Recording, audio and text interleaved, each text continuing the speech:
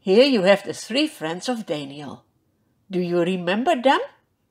King Nebuchadnezzar promoted them to be officials in Babylon and gave them new Babylonian names Meshach, Shadrach, and Abednego. On a certain day, they get an invitation from the king. They have to come to a certain place with the name Dura. There the king has made a huge image of gold. It's about 30 meters high and 3 meters wide.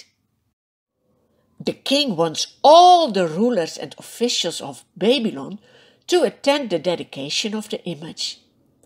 That's why Shadrach, Meshach, and Abednego are invited as well. A herald loudly proclaims, Everybody is commanded. As soon as you hear musical instruments, you must fall down and worship the image of gold that the king has set up.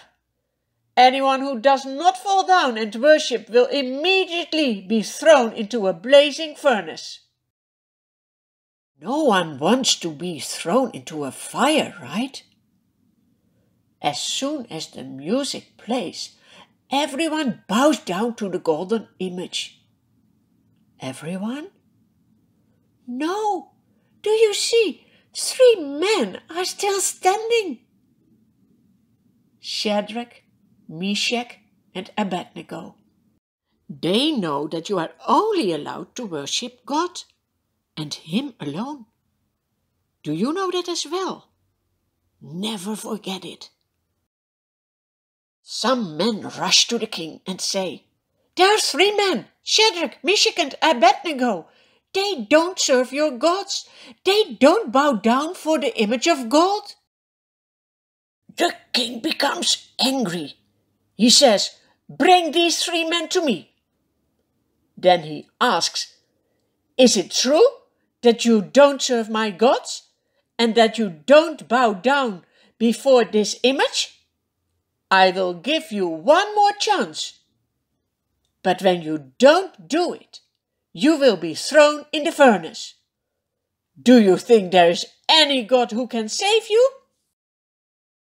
The three men bravely reply, Your Majesty, our God, whom we serve, is able to save us from the blazing furnace and from your power. But even if he doesn't, we will not worship your God, and we will not bow down to the gold statue. They really trust and obey God. And you? King Nebuchadnezzar becomes furious. He orders his servants, Heat the fire seven times hotter than usual. The strongest servants in his army tie the three friends of Daniel up and throw them, fully clothed, into the roaring furnace. The fire is so hot that it kills the servants of the king. And what about the friends of Daniel? Suddenly King Nebuchadnezzar leaps to his feet in amazement. Did we tie up three men and throw them into the fire? he asks. Men around him answer, Yes, we did, your majesty. Then why do I see four men walking around in the fire? the king asks.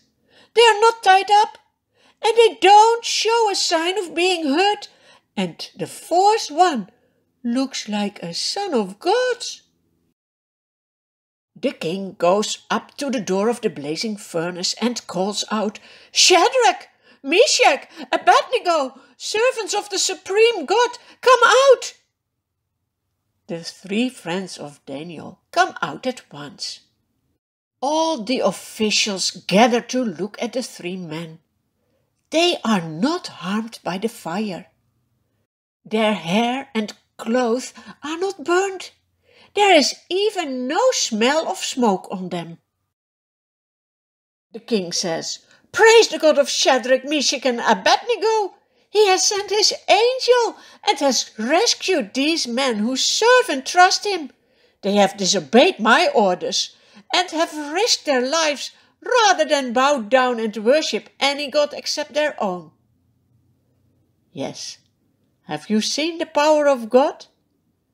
Will you trust and obey him as well? He is so worthy that you love him. The king continues. I command that if anyone speaks without respect of the God of Shadrach, Meshach, and Abednego, he will be killed, and his house will be made a ruin. There is no other God who can rescue like this. Do you see that God is honored? Also, Shadrach, Meshach, and Abednego are honored. The king gives them promotion.